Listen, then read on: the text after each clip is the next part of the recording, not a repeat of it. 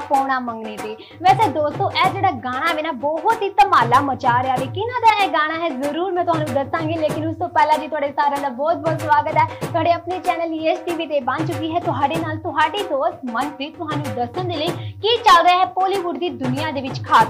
ਵੈਸੇ ਦੋਸਤੋ, ਸਾਡੇ ਜਿਹੜੇ ਸਿਤਾਰੇ ਨੇ ਨਾ, ਬਹੁਤ ਅਲੱਗ-ਅਲੱਗ ਕੁਝ ਕਰਦੇ ਰਹਿੰਦੇ ਨੇ।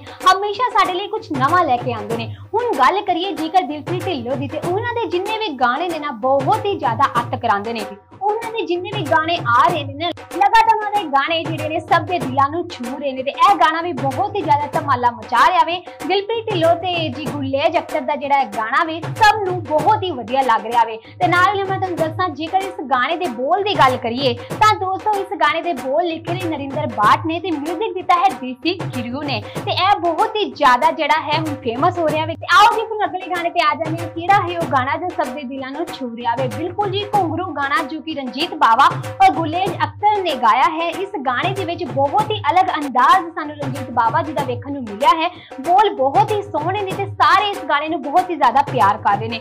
ਆਓ ਦੋਸਤੋ, ਹੋਰ ਸਮਾਂ ਨਹੀਂ ਆਪਾਂ ਗਵਾਉਂਦੇ ਤੇ ਅਗਲੇ ਗਾਣੇ ਤੇ ਵੀ ਨਜ਼ਰ ਪਾ ਲੈਂਦੇ ਹਾਂ। ਕਿਹੜਾ ਹੈ ਗਾਣਾ ਜੋ ਸਭ ਤੋਂ ਜ਼ਿਆਦਾ ਫੇਮਸ ਹੋ ਰਿਹਾ ਹੈ? ਬਿਲਕੁਲ ਦੋਸਤੋ, ਗਿੱਪੀ ਗਰੇਵਾਲ ਹੈਗੇ ਨੇ। ਉਹਨਾਂ ਦੇ ਵਿੱਚ ਥੋੜੀ ਜੀ ਬ੍ਰੇਕ ਲਗਾ ਲਈ ਸੀ। ਲੇਕਿਨ ਦੋਸਤੋ, ਫਿਰ ਤੋਂ ਵਾਪਸ ਆ ਚੁੱਕੇ ਨੇ ਆਪਣੀ ਐਲਬਮ ਦੇ ਨਾਲ ਤੇ ਹੁਣ ਜਿਹੜੀ ਉਹਨਾਂ ਦੀ ਐਲਬਮ ਹੈ ਉਹਦੇ ਵਿੱਚੋਂ ਇੱਕ ਇੱਕ ਗਾਣਾ ਕਰਕੇ ਉਹ ਕੱਢ ਰਹੇ ਨੇ ਤੇ ਸਭ ਦੇ ਦਿਲਾਂ ਨੂੰ ਉਹਨਾਂ ਦਾ ਗਾਣਾ ਜਿਹੜਾ ਬਹੁਤ ਹੀ ਵਧੀਆ ਛੂ ਰਿਹਾ ਵੇ। ਤੇ ਗਾਣੇ ਦਾ ਕੀ ਨਾਮ ਹੈਗਾ ਵੇ? ਗਾਣੇ ਦਾ ਨਾਮ ਹੈਗਾ ਵੇ ਹਥਿਆਰ 2 ਤੇ ਇਹਦੇ ਵਿੱਚ ਗਿੱਪੀ ਗਰੇਵਾਲ ਕੁਝ ਅਲੱਗ ਹੀ ਨਜ਼ਰ ਆ ਰਹੇ ਨੇ। ਹਟ ਕੇ ਇਹ ਉਹਨਾਂ ਦਾ ਗਾਣਾ ਹੈਗਾ ਵੇ। ਤੇ ਹੁਣ ਦੋਸਤੋ, ਜੇਕਰ ਗਿੱਪੀ ਗਰੇਵਾਲ ਦੀ ਆਪਾਂ ਫਿਲਮਾਂ ਦੀ ਗੱਲ ਕਰੀਏ, ਤੇ ਸੁਣਨ ਚ ਆ ਰਿਹਾ ਸੀ ਕਿ ਸ਼ਾਵਾਨ ਦੀ ਗਿਰਧਾਰੀ ਲਾਲ, ਉਹਨਾਂ ਦੀ ਜਿਹੜੀ ਫਿਲਮ ਹੈ ਬਹੁਤ ਜਲਦ ਸਾਡੇ ਸਾਰਿਆਂ ਦੇ ਸਾਹਮਣੇ ਆਏਗੀ। ਲੇਕਿਨ ਦੋਸਤੋ, ਹੁਣ ਸੁਣਨ ਚ ਇਹ ਆ ਰਿਹਾ ਵੇ ਕਿ ਉਸ ਫਿਲਮ ਦੇ ਵਿੱਚ ਥੋੜੀ ਜਿਹੀ ਬ੍ਰੇਕ ਲੱਗ ਗਈ ਉਹਦੀ ਜਿਹੜੀ ਸ਼ੂਟਿੰਗ ਹੈ ਉਹ ਰੋਕ ਦਿੱਤੀ ਗਈ ਹੈ ਕੋਵਿਡ-19 ਦੇ ਕਾਰਨ। ਲੇਕਿਨ ਜਿਵੇਂ ਹੀ ਇਹ ਸਮੱਸਿਆ ਦਾ ਹੱਲ ਹੋਏਗਾ, ਉਵੇਂ ਇਹਦੀ ਜਿਹੜੀ ਸ਼ੂਟਿੰਗ ਹੈ ਦੁਬਾਰਾ ਤੋਂ ਸ਼ੁਰੂ ਹੋ ਜਾਏਗੀ ਤੇ ਇਹ ਫਿਲਮ ਸਾਡੇ ਸਾਰਿਆਂ ਦੇ ਵਿੱਚ ਫਿਰ ਤੋਂ ਆ ਜਾਏਗੀ। ਦੋਸਤੋ, ਹੁਣ ਆਪਾਂ ਅੱਗੇ ਇੱਕ ਝਾਤ ਮਾਰ ਲੈਂਦੇ ਹਾਂ, ਕੀ ਚੱਲ ਰਿਹਾ ਹੈ।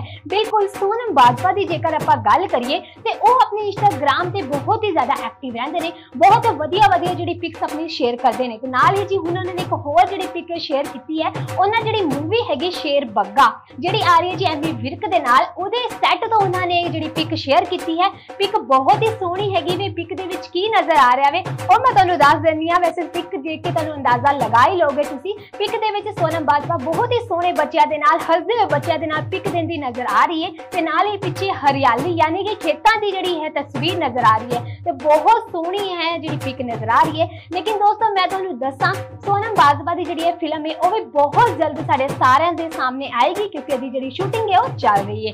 ਐਸੇ ਦੋਸਤੋ ਸਾਡੀ ਪੋਲੀਵੁੱਡ ਦੀ ਗੇੜੀ ਕਿਦਾਂ ਦੀ ਲੱਗੀ ਜ਼ਰੂਰ ਦੱਸਿਓ ਫਿਰ ਰੂਬਰੂ ਹੋਵਾਂਗੀ ਨਵੀਂ ਗੇੜੀ ਦੇ ਨਾਲ ਨਵੀਆਂ ਗੱਲਾਂ ਦੇ ਨਾਲ ਤਾਂ ਤੱਕ ਸਾਡੇ ਨਾਲ ਬਨੇ ਰਹਿਣਾ ਹੈ ਯੈਸ ਟੀਵੀ ਦੇ ਨਾਲ ਹੁਣ ਫਟਾਫਟ ਕੀ ਕਰਨਾ ਹੈ ਫਟਾਫਟ ਜੀ ਲਾਈਕ ਕਰ ਦਿਓ ਨਾਲ ਹੀ ਨਾਲ ਚੈਨਲ ਨੂੰ ਸਬਸਕ੍ਰਾਈਬ ਕਰੋ ਤਾਂ ਕਿ ਸਾਡੀ ਆਉਣ ਵਾਲੀ ਵੀਡੀਓ ਫਟਾਫਟ ਤੁਹਾਡੇ ਤੱਕ ਪਹੁੰਚਣ ਤੇ ਨਾਲ ਹੀ ਨਾਲ ਤੁਸੀਂ ਕੋਈ ਵੀ ਚੀਜ਼ ਮਿਸ ਨਾ ਕਰੋ ਇਨੀ ਗੱਲਾਂ ਦੇ ਨਾਲ ਹੁਣ ਤੁਸੀਂ ਮੈਨੂੰ ਦਵਾਈ ਇਜਾਜ਼ਤ ਫਿਰ ਰੂਬਰੂ ਹੋਵਾਂਗੀ ਸਤਿ ਸ਼੍ਰੀ ਅਕਾਲ